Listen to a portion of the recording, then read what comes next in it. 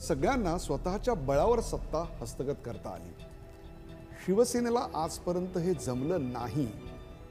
नेमकं कोणामुळे?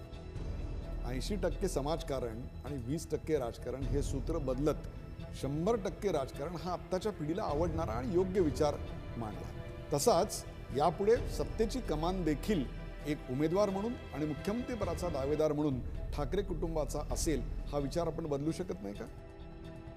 शिवसेनेच्या सुवर्ण महोत्सवानिमित्त.